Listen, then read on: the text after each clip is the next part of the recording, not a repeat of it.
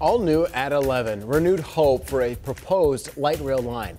The red line would connect uptown to Mooresville, but Charlotte needs Norfolk Southern's rail line to make this project happen. The company has not been on board, but as WCNC Charlotte's Julia Kaufman reports for us, that might be changing.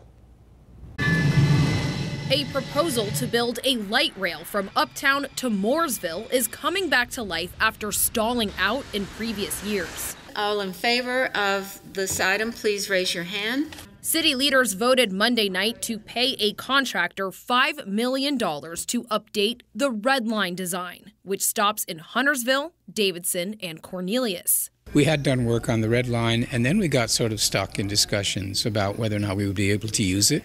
And it's been a sticking point for us for all that time. And in the meantime, so much had changed that we did need to update the work that had been done previously.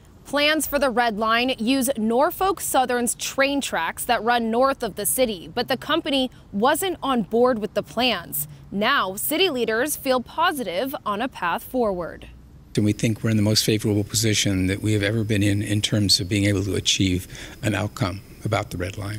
Norfolk Southern told WCNC Charlotte in 2021 it will not share its tracks. Now, a spokesperson says, quote, Though this line remains a strategic part of our network, we have always valued our relationship with Charlotte and the surrounding communities. Wherever we can, we will continue to work with them on projects that intersect with our network and the needs of our customers. When they complete the design, push for completion in reality. Sugar Creek resident TJ Ratliff is in favor of the Red Line and expanding the light rail. I'm here to remind you that people care about this. But even if Norfolk Southern jumps on board, its future still depends on a one cent hike to Charlotte's sales tax to become a reality. It's a uh, critical component of our entire mobility plan. I mean, if we can't get a new revenue source, we're constrained. Councilman Ed Driggs says the goal is to get the state legislature's approval for a referendum on the sales tax and allow voters to decide in the 2024 election. Julia Kaufman, WCNC Charlotte.